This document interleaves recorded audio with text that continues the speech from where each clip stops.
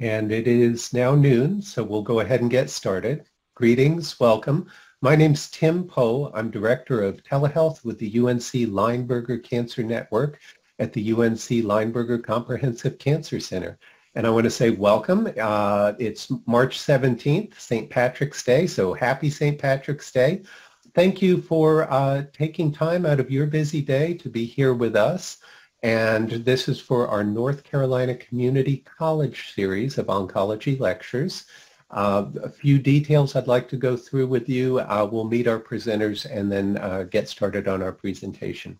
So uh, we'll be using Poll Everywhere today. I'll talk about that in a moment. If you're experiencing any technical difficulties, please give us a call, 919-445-1000. You may also email us at unccn at unc.edu. And you, oh, you can always visit our website, unclcn.org, with lots of information there. So let's go ahead and get started.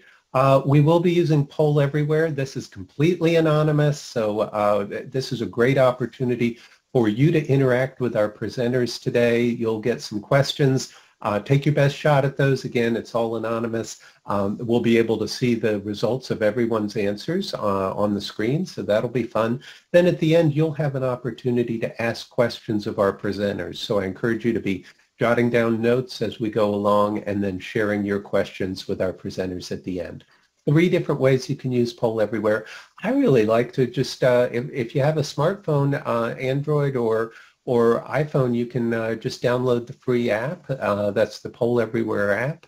And then you just put in the letters UNCCN. You'll go ahead and see the uh, the questions as they come up, and you can uh, just click on your answers. You can also go to any web browser anywhere in the world, even on the space station. Uh, just go pollev.com, P-O-L-L-E-V.com, enter the letters UNCCN, and then again, just like with the app, you'll see the, uh, the answer options and you can click on those and then you can submit your questions at the end. Finally, if you prefer to uh, use text, we can support that too. Just text the letters UNCCN to the number 22333. You'll get a message back that you've joined. Then you can just select the um, letters that correspond to the correct answers, and then at the end send your questions in. That's all there is to it. We have lots of lectures, so many lectures. Uh, first and foremost, for all of you uh, community college students and instructors, we have this series. We're wrapping up. This is the, the fourth lecture of these uh, academic year, so we'll be starting with more in the fall, and we'll send you announcements about that as we get closer to that. Uh, we also have all kinds of professional lectures, patient-centered care lectures, research to practice lectures. All of these are focused on oncology. All of them are free. And as you move from your from your student role into your professional role and need uh, professional credits, uh, th this is a great way to get those. And again, all free of charge. Okay, we will have a survey at the end. Uh, you can click on this now, and I'll show this again at the end uh, either the QR code or unclcn.org forward slash eval. We really, really encourage you to uh, go ahead and, and fill out the evaluation. Let us know how we're doing. And what you'll notice when you go to that link is that it will bring you to the learning portal. If you're already logged in, you can just go to the bottom where it says take course and then you'll click on the next link at the bottom. It will take you to the evaluation. If you haven't logged in, please log in. And if you're coming to the uh, learning portal for the first time, you'll see where you can create a free account. Go ahead and do that and then you'll be able to get to uh, this page. Again, take the course, uh, do the evaluation, and we really appreciate that. And without further ado, North Carolina Community College Oncology Lectures, Caring for patient, the Patient with Hematologic Cancers, Leukemia, Lymphoma, and Multiple Myeloma with Natalie Grover, MD, and Courtney W. Berry, MS, MA, BSN, RN, OCN. All right.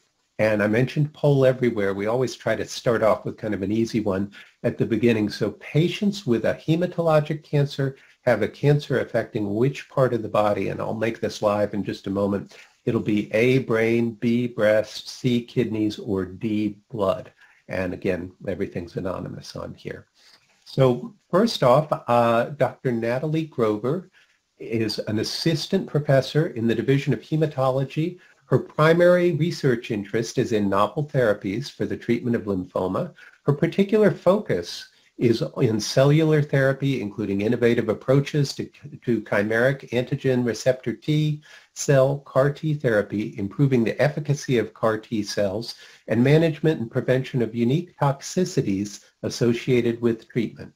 Dr. Grover's ultimate goal is to improve therapeutic options for lymphoma patients while minimizing toxicities and maintaining their quality of life.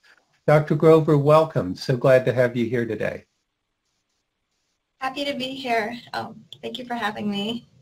Absolutely. And Dr. Grover, can, I'd like to ask you, can you tell our audience a little bit about your career trajectory?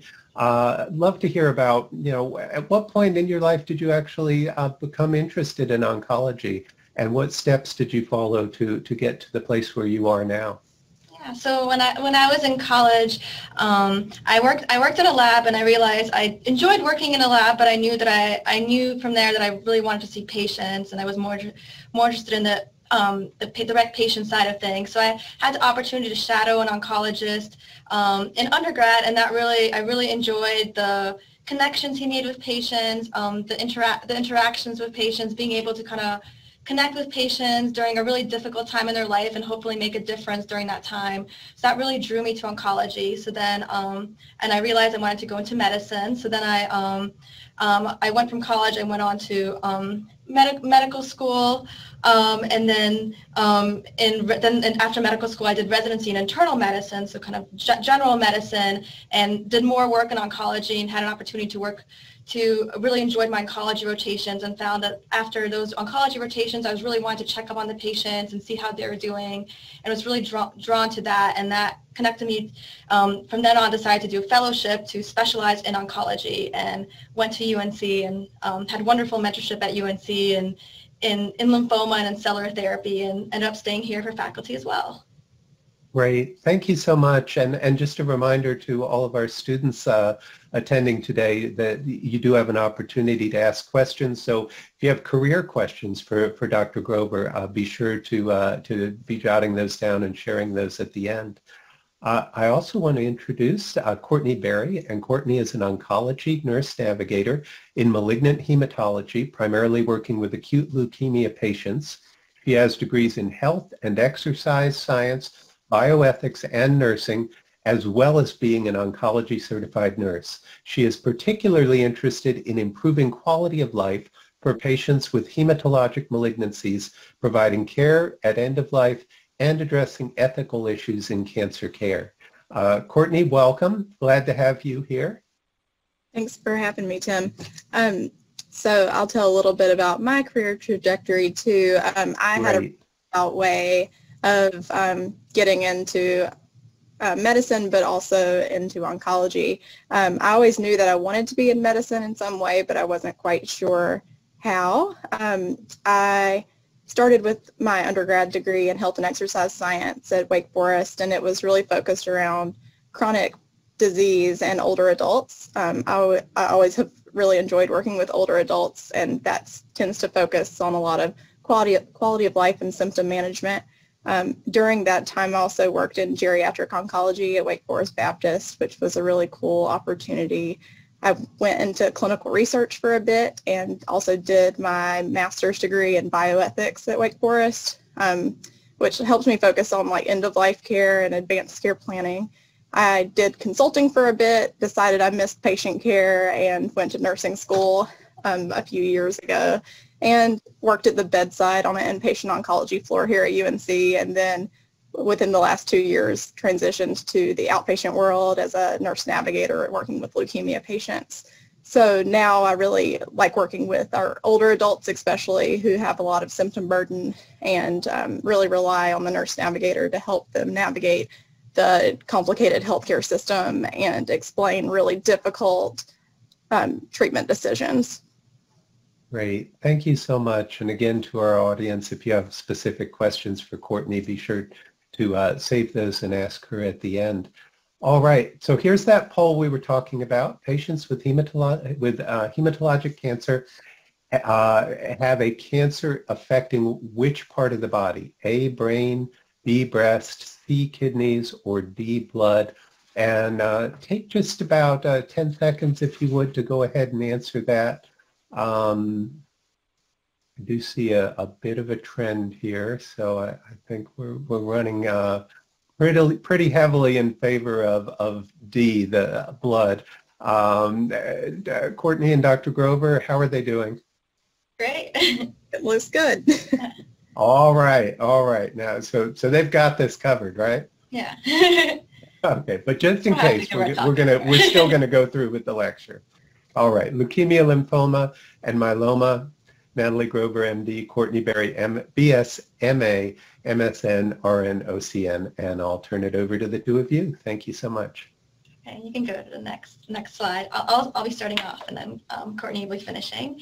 Um, so before we stop, start talking about specific blood cancers, I just wanted to give a brief introduction to hematopoiesis, which is the formation of blood cells. And I know beginning whenever I saw this chart, I would always kind of turn off, but this is this is important to at least get a little idea of to understand what blood blood cancers come from. So blood cells begin as stem cells in the bone marrow, and stem cells can self-renew, but can also differentiate or mature into different types of cells. So red blood cells, white blood cells, and platelets. After they have matured, these cells enter the bloodstream, and then stem cells then commit to either a lymphoid or myeloid lineage. In the myeloid lineage, you have red blood cells, which carry oxygen around the um, body, and platelets, which help with clot, clotting. So white blood cells fight infection in the body. There are two major types of white blood cells. There are the germ-eating cells or granulocytes, which are part of the myeloid lineage, and then you also have the lymphocytes, which are part of the lymphoid lineage, and they are infection-fighting cells, so B cells, T cells, NK cells. Um, next slide. Blood cancers develop when normal cell development is blocked. So basically at any one of these points of development, there's a natural change and a cell starts replicating and becoming cancerous instead of continuing to mature. The type of blood cancer that develops depends on the point in the cell maturation cycle that this occurs. So moving on, we will now focus on lymphoma, myeloma, and leukemia. And to start, um, next slide. And I think we have a pull over question. So just to, just to, for fun, get your thoughts. What do you think is the most common hematologic malignancy?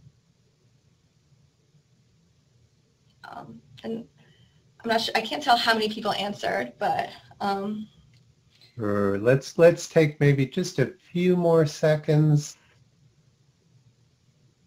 All right, so we've got we're we're sitting with about 20% at leukemia and 80% lymphoma. How are they doing? Yeah, they're doing great. Um, we can go we can go on to the next slide, which will kind of give the answer give the answer.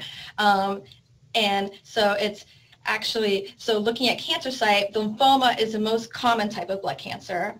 And over here in the terms in terms of the, all the new cases of cancer, this actually just talks about non-Hodgkin lymphoma and not Hodgkin lymphoma. So just even non-Hodgkin lymphoma is the seventh most common cancer type in both males and females, with leukemia slightly less common. And I saw that some people answered leukemia, and actually, in terms of the higher rates of death, leukemia has the higher rates of death than lymphoma because many lymphomas are curable, and it generally has a better prognosis. So even though lymphoma is more common, um, leukemia causes a higher percentage of a higher number of deaths per year um, among, among people.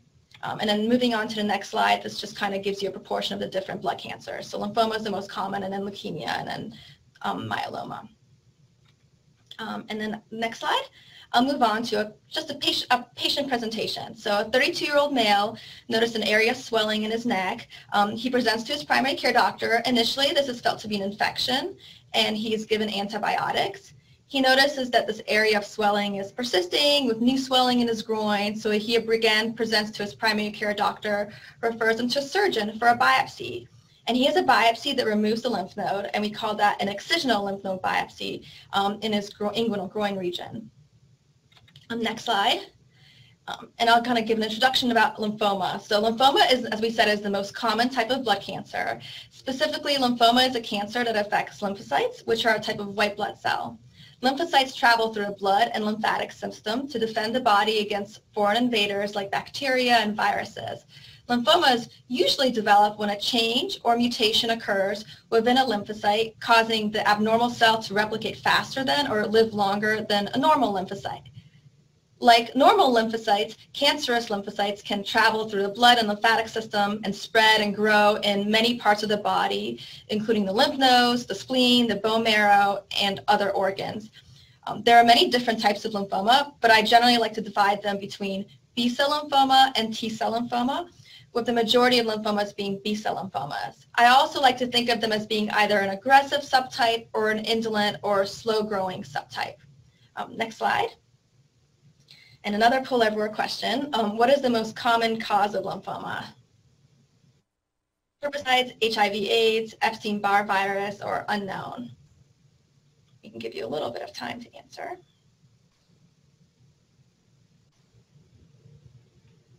All right. And again, uh, take uh, just another five seconds or so. Go ahead and uh, take your best guess on that.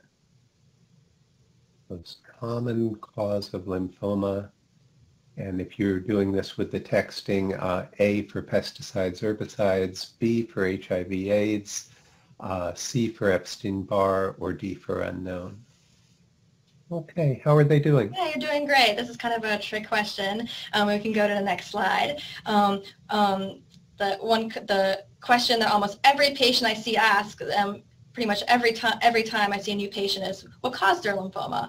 Um, and unfortunately, the majority of patients, um, you know, some of these others might be right, but right now we really don't know in most patients. I can't find specifically tell them what caused their lymphoma. Um, there are some chemicals that are suspected as causing lymphoma, such as certain pesticides or herbicides. You may have heard about the recent Roundup lawsuits um, or Agent Orange, which is going to be an issue in Vietnam vets. Um, like with many other types of cancer, high-dose radiation exposure could also be a concern. Um, and given this is a cancer of the immune system, there are also immune links. For example, patients with immune deficiency, so those with HIV or AIDS or who have had transplant or on immunosuppressant medications may have increased risk, as well as patients with autoimmune disease. And finally, there are some infections that are linked with certain types of lymphoma as well. Um, next slide. Um, and lymphoma is pretty heterogeneous and can present in many different ways, including with no symptoms and incidental findings on a scan.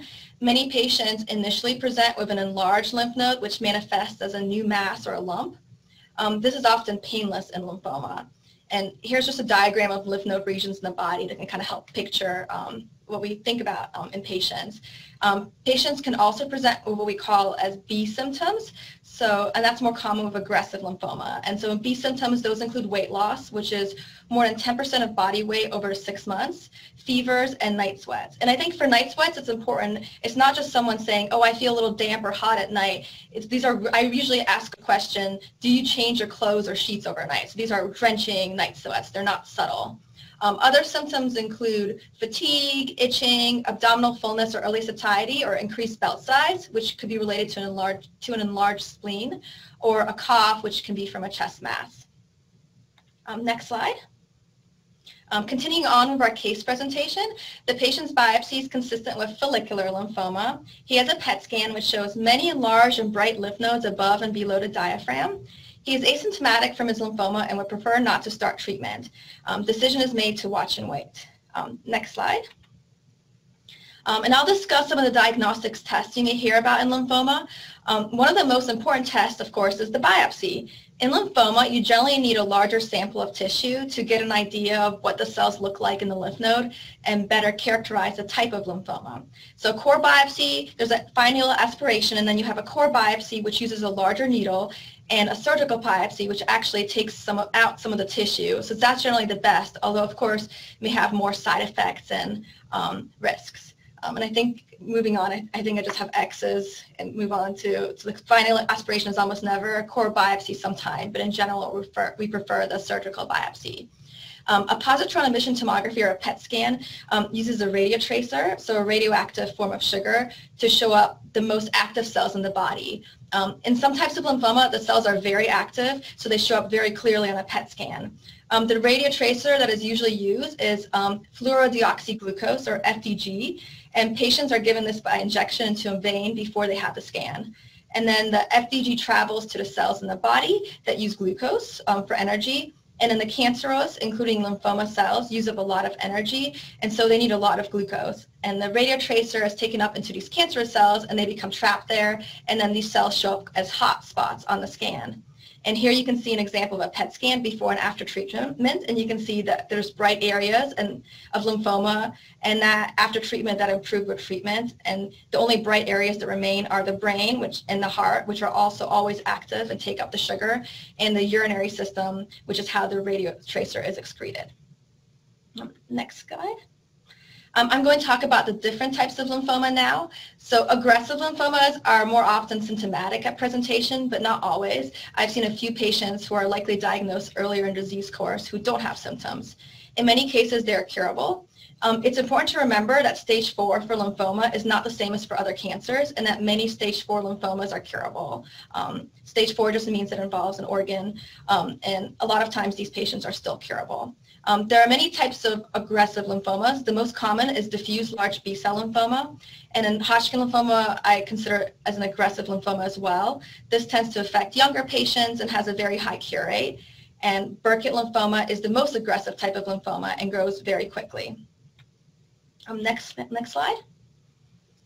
You also have indolent types of lymphomas. These are generally slower growing and are often asymptomatic at presentation. They're generally not considered curable, but are considered treatable and may still have a good prognosis with a long life expectancy. In general, these tend to occur in older patients. In some instances, you don't have to treat these patients if they aren't having any symptoms, and you might even be able to watch and wait and start treatment if they develop symptoms. The most common type is follicular lymphoma. And here's just a pathology picture of that. Um, and then moving on to the patient, over the next year, he notes that the lymph nodes are continuing to grow and causing discomfort because they're getting so big. He also notes increased fatigue. And here's a picture of a scan, and you can see um, a lot, you know, um, bright areas in, around his neck, um, in his axillary area, in his armpits, um, in his groin area. Um, and he, so he has pretty bulky and high burden disease. And so the decision is made to start combination chemotherapy to treat his lymphoma. Um, next slide. And then for treatment, there are many different types of treatment for lymphoma. Um, as I said before, there's observation for some indolent types of lymphoma. And some, for some patients, we use radiation, and this is often the case in patients with disease in one specific area that can be covered by a radiation field. For most patients, we use chemotherapy, and then this is also changing, so the landscape for chemotherapy for lymphoma is changing. There are different types of chemotherapy, including traditional chemotherapy, um, immunotherapy, new targeted drugs. As with all cancer types, we have many different types of clinical trials that we always encourage patients to participate in as well. Next slide. And then, of course, the side effects of treatment depend on the type of treatment. Common side effects for kind of traditional um, initial lymphoma combination therapy um, include fatigue, hair loss, um, nausea, vomiting. Um, I do think we're a lot better at managing the side effects and being proactive and using drugs to help prevent nausea in the first place. Um, mucositis or mouth sores, infections, low blood counts requiring blood or platelet transfusions, neuropathy, which can start off as numbling, numbness and tingling in the fingertips, and toes, but can progress to interfering with doing daily activities, buttoning shirts, writing, or causing instability and falls, um, cardiac and pulmonary toxicity. Next slide. Um, as I discussed, lymphoma often has a very good prognosis, so survivorship is also a big component of care for these patients. As you can see here for Hodgkin lymphoma, at about 15 years post-diagnosis, their chance of dying from other things, including other cancers or cardiac events, is higher than their chance of dying from their lymphoma. Of course, there are many issues in patients treated for lymphoma, including concern about relapse, um, depression and anxiety, fatigue or cognitive deficits, cardiac concerns from some chemotherapy being toxic to the heart. I counsel patients on the importance of quitting smoking and modifying other cardiac risk factors um, issues of lung toxicity from either chemotherapy or radiation, um, bone marrow toxicity from chemotherapy, including um, increased risk for leukemia, which you'll hear about later, and other cancers, for example, or breast or lung cancers from radiation. It's really important for these patients to continue following closely either of their oncologist, in a survivorship clinic, and with their primary care doctor as well. Um, next slide. Moving on, I'm going to present another case. A 67-year-old woman presents with a three-month history of progressive back pain and a two-week history of lower extremity weakness. Labs are significant for anemia, hypercalcemia or high calcium, and elevated creatinine, um, renal dysfunction. An MRI of her spine shows a vertebral body mass of extension into to T12 epidural space, leading to spinal cord compression, and a bone marrow biopsy shows sheets of atypical plasma cells. And I'll kind of talk about this a little more in a second. Um, so this is multiple myeloma.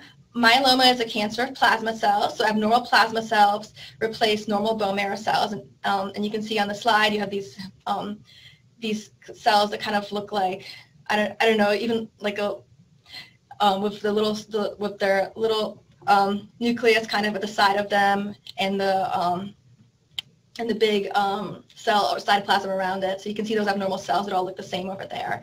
Um, plasma cells are a type of white blood cell found in the bone marrow. Um, next, next slide. Um, B cells are a type of white blood cell that is found in the bone marrow that develops into plasma cells. Healthy plasma cells are part of the immune system and make proteins called antibodies, which help fight infection. So on the left here, you see a few plasma cells in the bone marrow making different types of antibodies. In myeloma, plasma cells undergoes a malignant change caused by one or more acquired genetic mutation, causing it to multiply into many malignant plasma cells which then crowd out the healthy white blood cells, the red blood cells and platelets in the bone marrow, and interfering with their normal production. The malignant plasma cells or myeloma cells produce abnormal proteins, and you have a higher level of this protein.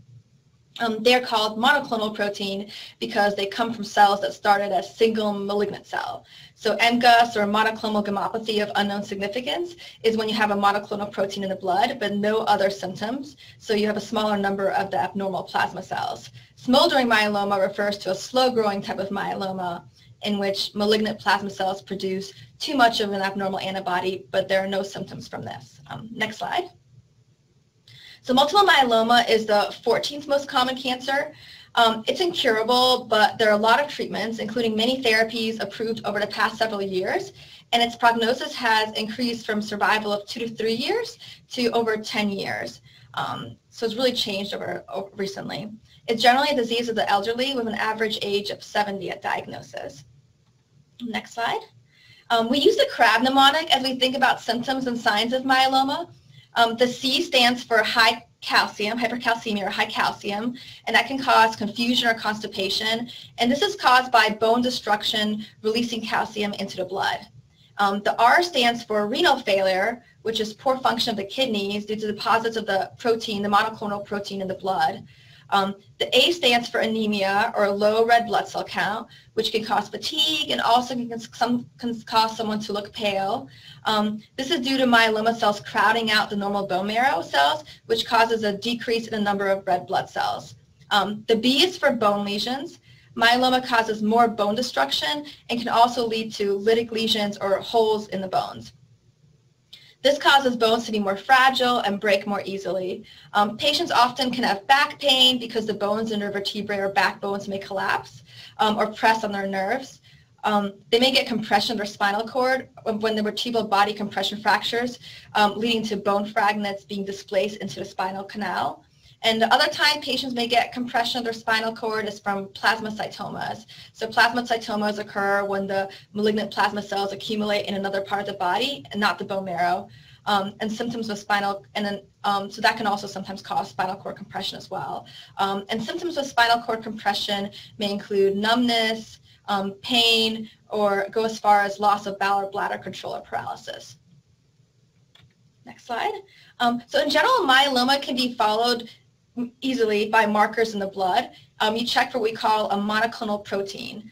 Um, in myeloma, you have the malignant plasma cells making large amounts of single antibody, which we call an M spike, or a monoclonal immunoglobulin spike. The M proteins can be measured in the blood or urine, and the levels generally correlate with a patient's disease. So um, a serum protein electrophoresis test, um, or an SPEP, is a test in which proteins in the blood are separated out so that the individual antibodies can be identified and quantified.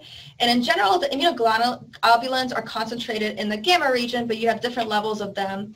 Um, they're similar but slightly different proteins, so they migrate somewhere together but not completely. So you can see it's kind of like a hill or um, on the gel on the top in the top picture, and in the picture below you see a that monoclonal protein, and that migrates uniformly. and so that's why it causes this M spike. Um, you also can do, um, in addition to um, the SPEP, you also do skeletal survey or a PET scan to look for bone involvement, um, those lytic lesions I was talking about, um, the bone destruction from the myeloma, and you also check labs to look for anemia and high calcium or kidney dysfunction as well.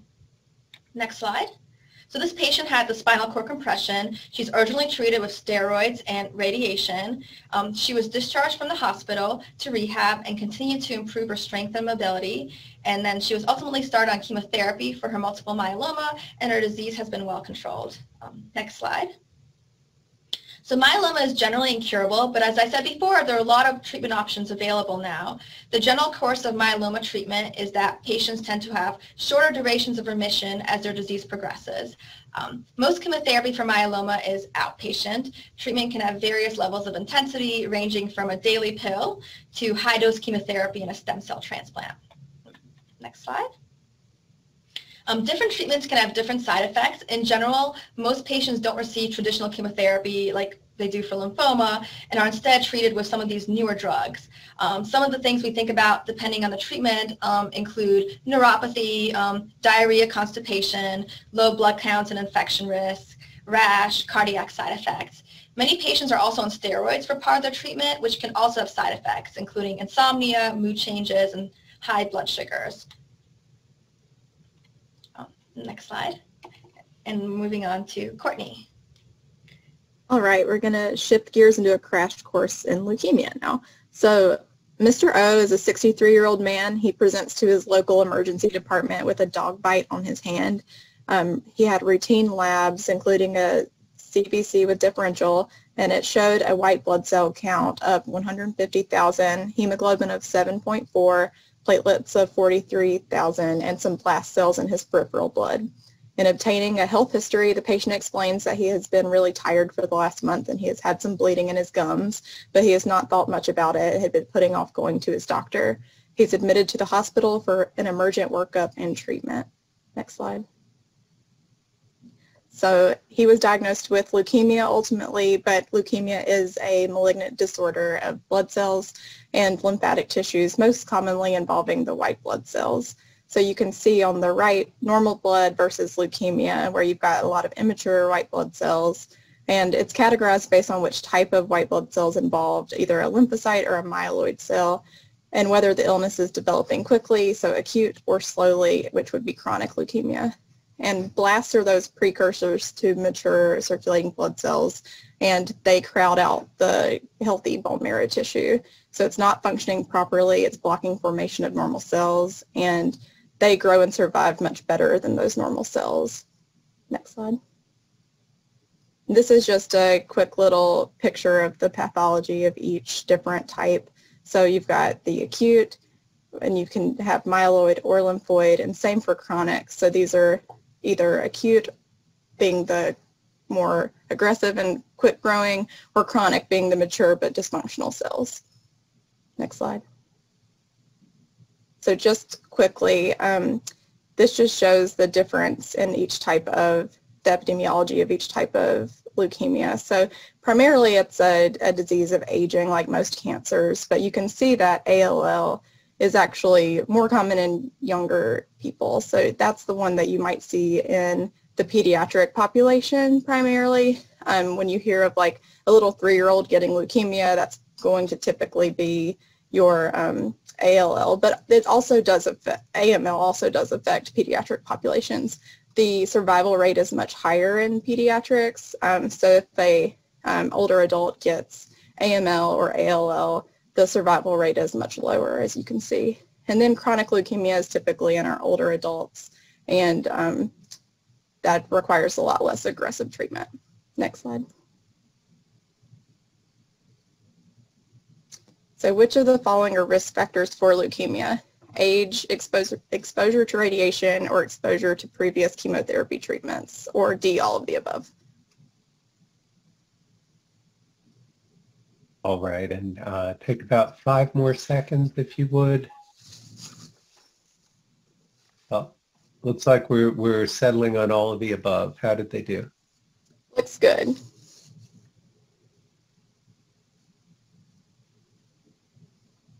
So there's a lot of risk factors for leukemia, but sometimes, like with lymphoma, we don't really know exactly where it came from. Sometimes the the tests can show certain genetic markers that show where it may have come from, um, but age is going to be one of the biggest ones, and then just cellular damage from things like smoking or um, pre-leukemia. So the some diseases like MDS and MPN can cause those changes that eventually could lead to leukemia. Exposure to radiation is also a big one, but it's hard to pinpoint how that happened. Um, chemical exposures like chemotherapy, so we see a lot of people get secondary leukemia from other cancer treatments, and that's a lot of the patients that we see here at, at UNC also, and those people require a different type of treatment often because they've already seen some of the chemotherapies that we may give them. Typically they um, may need something different so it doesn't cause more damage on their heart or doesn't um, completely destroy their bone marrow where it isn't able to build back up. But there's a few other things that could cause it, including viruses, genetic disorders, and there can be a genetic component, but there's a little, it, it's a little hard to tell. Next slide. Symptoms of leukemia. This, there's a lot of symptoms here, but really the the main um, points are that it's signs of bleeding and, and signs of easy infection. So people might show up with bleeding gums and they think, oh, I've just got sensitive gums. I need to go see my dentist. Um, they may have some soreness or swollen lymph nodes um, and just think it's the typical cold. They may have joint pain, inflammation, um, may show up with abnormal lung sounds like they have pneumonia and UTIs um, having like swollen gums and bleeding gums, petechiae, which are those little spots of that look like tiny bruises all over the body. Um, a lot of these things don't really sound like much in isolation, so people might not think that it's something more serious, but they often will go to their doctor and um, have some blood tests run and it raise alarm. Next slide. So typically the way that people find out that they have leukemia are first those lab results that give us reason to scratch our heads and think something's wrong. Um, so a CBC with differential especially. Um, and then you might see especially a bone marrow biopsy, which is going to show us the different types of cells and um, do some karyotyping in FISH to see what types of changes in the chromosomes and genes there are. And then also a lumbar puncture, and that's going to tell us also if there is leukemia in the spinal fluid. Next slide. So going back to the case, Mr. O received his bone marrow biopsy to confirm a diagnosis of leukemia. He started on a drug called hydroxyurea to lower his white blood cell count to a safe range. And the result came back a couple of days later. He is diagnosed with acute myeloid leukemia. Next slide. So there's a lot of different treatments depending on the type of leukemia and the cytogenetics that come back. Um, so like I said, hydroxyurea is often used early to lower the white blood cell count to a more safe range to use other chemotherapy or other treatments. Um, we often give IV chemotherapy for acute leukemia patients in the hospital, and this typically requires a really long stay in the hospital, 30 days, 45 days, depending on um, how quick their blood cells bounce back. Um, we have a lot of good new options, especially for older adults that are chemotherapy injections that we might give on the outpatient side so they can um, prevent them from staying in the hospital for these really long stays. And then we've got oral chemotherapy that we use um, for both acute patients and especially our chronic patients. Immunotherapy is a cool new place of research in leukemia. Um, lumbar punctures with um, intrathecal chemotherapy, which is used a lot in like our um, ALL patients. Radiation, which is less common but sometimes also used, especially in ALL. Blood transfusions, especially, we use those with our um, acute patients when we destroy their bone marrow uh, cells with the chemotherapy, we have to give them a lot of blood transfusions to keep them safe. Uh, and then eventually, often patients go to a bone marrow or a stem cell transplant. We also utilize palliative care for symptom control, and then a lot of patients often pursue hospice care when they are at the end of life. So just going back to be a little bit more specific about AML treatment, this is a really hard treatment for patients. They stay in the hospital for 30, 45 days, depending on how they're doing. And it's a really aggressive treatment of IV chemotherapy at first. Um, a lot of high symptom burden, a lot of blood transfusions, and the goal is to get them into a remission. And once they get into remission, they can go on to consolidation, which is a little bit easier for patients, but it is still in the hospital. They um, get about five days of chemotherapy, and then we just keep rechecking their blood counts over and over. We do several cycles of this to keep them into remission. If they relapse, we sort of go back and go kind of back to the beginning a little bit. Um, but like I mentioned before too, we've got some cool new treatments for older adults especially or people who are not responding to treatment that we can do a lot of treatment outpatient now. Next slide. And then ALL treatment is similar but a little bit different. Um, we do an induction similar to AML, but then move on to consolidation or intensification, which is a, depends on what type of regimen we go with, um, depending on what cells are, um, what markers are in their cells. Um, then we also do those lumbar punctures with IT chemotherapy, and those are pretty frequent. And then if everything is going well, we move on to maintenance, which is a lot of oral medications and less frequent um, touch points with our group. Next slide. And then chronic leukemia, this makes it look really simple compared to acute leukemia, but we're really giving a lot more oral drugs in chronic leukemia, which is a lot more um, convenient for patients. However, all, these chronic leukemias can also transform to acute leukemia, so we keep a close eye on our patients at first and just make sure that we're doing the right thing in terms of watching and waiting if they're asymptomatic or treating them with the right drug to make sure that they're not progressing through their disease. And then side effects of treatment are very similar to lymphoma. So we um, see a lot of low blood counts, so they have a risk of infection. We really keep a close eye on people to make sure that if they have a fever that they come into the hospital so they can get worked up and they probably will end up being admitted. Um, we have a really high risk for bleeding in this population, so a lot of blood transfusions. Um, fatigue, mucositis, which is the sores in the mouth, taste changes or appetite changes, losing their hair, nausea and vomiting, um, damage to the heart from chemotherapy, um, infertility, diarrhea or constipation, neuropathy, and then a lot of distress and anxiety. So who might you see on a patient's oncology team? The oncologist, cancer support program, palliative care, physical therapy, or all of the above. All right, and it looks like we're uh, landing on all of the above again. Good job.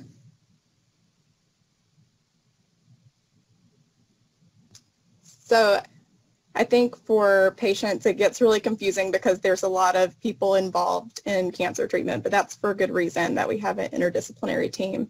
We want everybody to use their expertise to take the best care of patients. So you've got like oncologists and nurse practitioners, physician's assistants. You've got often at big cancer hospitals have people like me who's a nurse navigator who is caring for a patient um, pretty closely with the oncologist palliative care for symptom control. We have a really great cancer support program with counselors and nutritionists and um, just about anything you could think of, including helping patients get wigs if their hair falls out and that's just stressing to them. PT, OT, rec therapy, nutrition. Our um, adolescent young adult program is really important for fertility preservation and um, walking these young patients through unique problems that they experience bone marrow transplant, financial counselors. Our patients often have to be out of work or their um, significant other has to be out of work, so we have to help them get through that and do a lot of paperwork for them and help them um, know the best steps for them financially. Psychiatry, infectious disease, hospice, infu- our infusion center is always really busy, inpatient team, um, pharmacists, social work, interventional radiology, which is the people who sometimes do our biopsies and then also put in central lines for our patients to get chemotherapy, radiation folks, um, of course nursing staff, and many more people um, depending on what the patient needs. So you can see the number of people who might be involved in a patient's care team.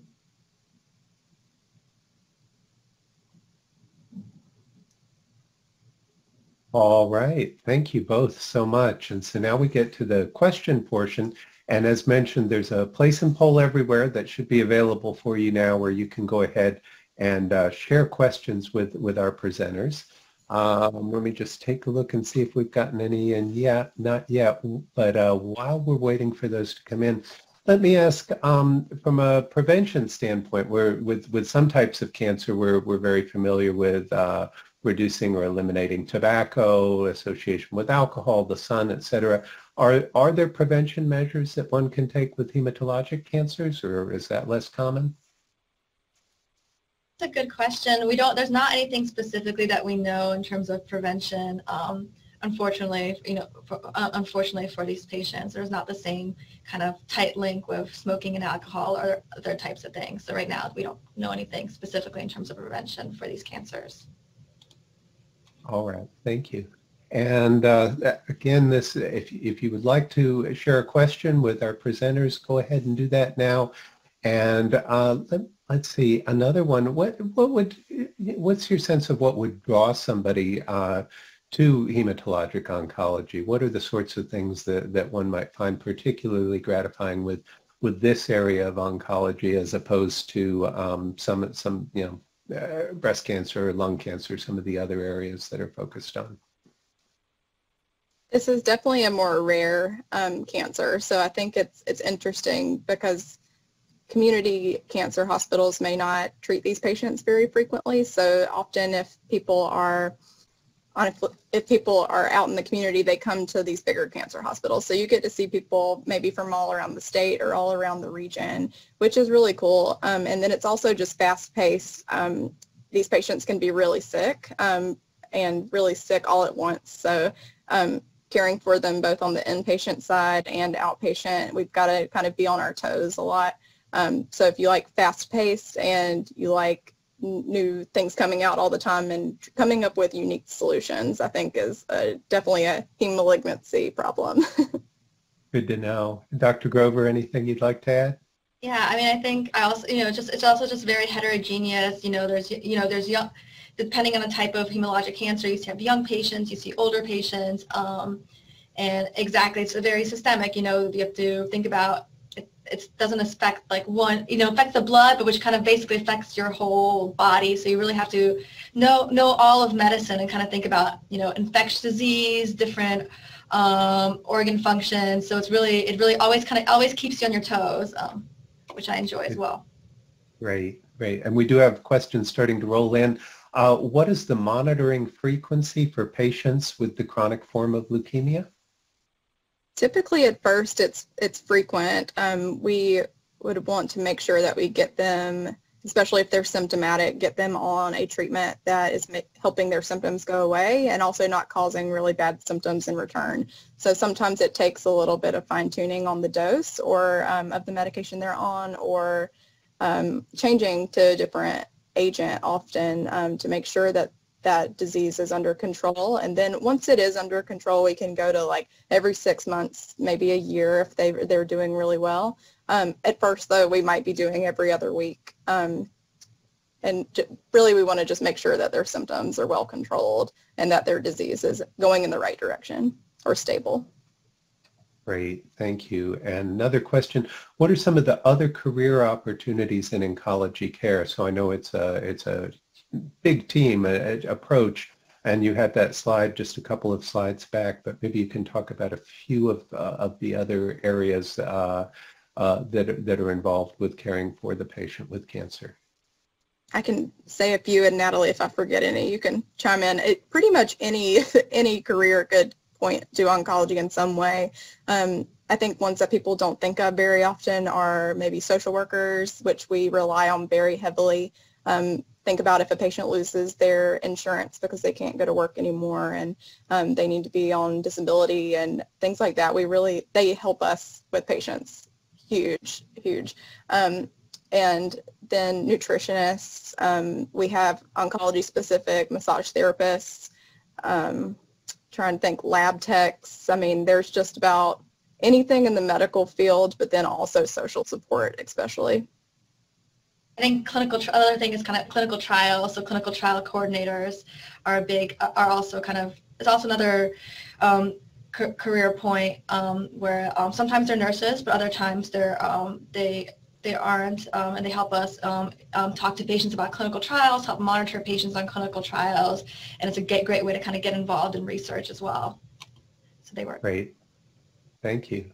Uh, what is the survivability like for a patient with follicular lymphoma?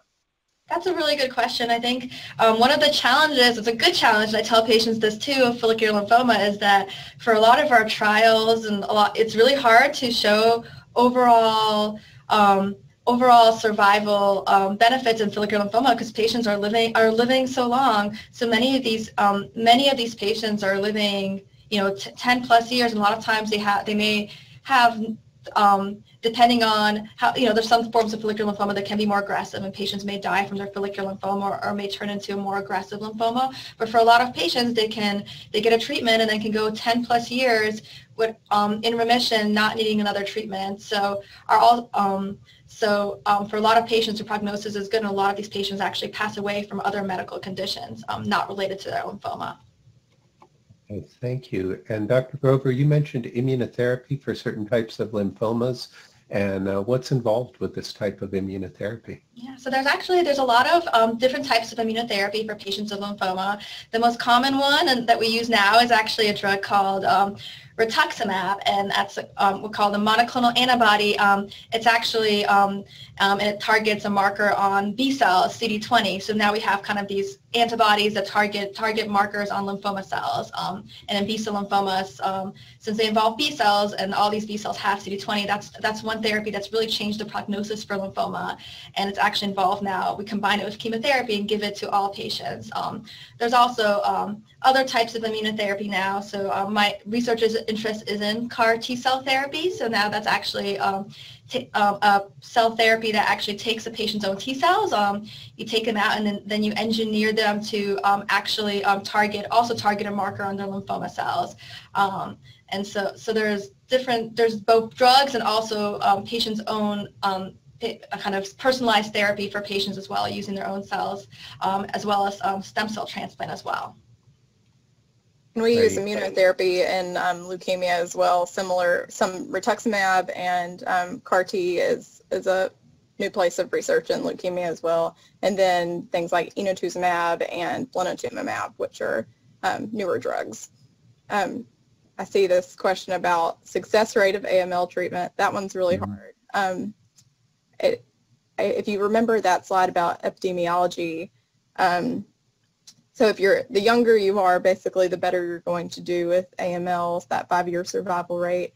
And also it just depends on, it's really age and of course a 65-year-old, um, two different 65-year-olds may be completely different. Um, so somebody may be fit and have no other chronic health conditions. They're going to do much better with treatment than somebody who has three other health conditions like diabetes, previous stroke, things like that. Um, so it really depends on the individual person, but then how quickly we can get them into a remission and then typically on to um, bone marrow transplant. So I have, I, as a new nurse, I met some patients who did really, really well, um, and they're still very much living and, and thriving. Um, I also take care of a lot of patients who pass away. So it's a, it's really just depends on the individual person. Thank you. And uh, we have one, obviously, we can't speak too specifically to a particular person, but uh, my grandfather had leukemia. This makes me concerned for my dad. What signs and symptoms should I watch for? So I guess, you know, a couple things in there. Obviously, the symptoms piece, that, but then also what, how, how prevalent is the hereditary component in this? I think that's a hard question, but um, I, I don't see that there's a huge hereditary component. Um, it's not like other cancers where, you know, like breast cancer, if you have like the BRCA1 gene, or you might um, want to have your family tested for that. There's not really good things to test for in that way. Um, of course, just keeping as healthy as possible. And um, if you notice anything sort of funny going on, just go to the doctor and, and have blood work done. Um, but I wouldn't be too overly concerned. This is not something that typically goes through families um, generation by generation. It does increase the risk slightly, but um, not significantly. Okay, thank you so much. we should probably go ahead and start wrapping up. I, I want to put in a quick plug for other lectures because as you're mentioning various topics here, I'm thinking, oh, we have a lecture for this, we have a lecture for that. Just last week, Dr. Collichio presented on uh, toxicities associated with immunotherapy and dealing with that. Uh, we've talked about hospice and palliative care, and we have lectures on that uh, and treating side effects and uh, social work and so many other things. So encourage um, you to, uh, as, as a listener here today, to uh, go ahead and take a look in our library or on our learning portal at some of the many, many different lectures that we have, both in the community college series first and foremost, but then across the board. And we do have uh, several hundred lectures available now. And they're all completely searchable down to every word and every presentation through uh, through the search in our in our video library. So uh, do visit there, and then uh, don't hesitate to let us know if you have any questions. Uh, we always want to say thank you. We want to say thank you to uh, the citizens of North Carolina for their generosity uh, through the state legislature in funding the University Cancer Research Fund and the UNC Lineberger Comprehensive Cancer Center. We want to thank our team, and that's Mary King and Veneranda Obore and John Powell for all of the work they do for each and every one of the lectures in this series. Uh, we do want to let you know that we are planning more lectures as always. So we'll have four more coming up in 2021, 2022. If you signed up for this lecture, we have you in our, on our lists and we'll be getting back with you this summer about specific dates for the, for the next academic year.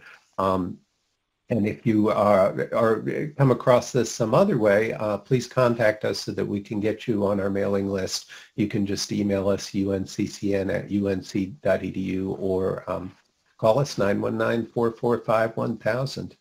Let's see what else. Uh, we have palliative care and hospice for the cancer patient. That's online in our in our North Carolina Community College uh, section of the Learning Portal, and that's with uh, Dr. Gary Winzelberg and Jenny Henspel. And uh, gynecologic cancer is a team approach to women's health care with uh, Dr. Clark Pearson and Lynn Phillip. And uh, we had a special appearance by uh, Herbie the the Basset uh, there, uh, who's a who's a service dog, uh, and made that one especially fun. So um, you can, as a community college student, you can go to uh, any of the the lectures that are in the portal, and you can uh, sign up, take that, um, take the test, and then get a certificate of participation to give you, to your instructor. And if you're an instructor, you can assign these to your students. Uh, if if doing this as a class is not convenient, you can do this on an individual basis for extra credit or as part of uh, required learning within a course. And then students have to uh, take tests and, and provide those certificates of participation validating that they've not only watched the content but also uh, been able to, to pass the assessment before getting the certificate. Let us know if you have questions about any of that. As we mentioned at the beginning, your feedback is really important to us. So please, please, please take just a minute. Uh, you can either go to unclcn.org forward slash eval, or you can uh, take your smartphone and uh, catch that QR code that's there. They'll get you to the same place. Please uh, go ahead and log into the portal and take care of that evaluation. We really appreciate that.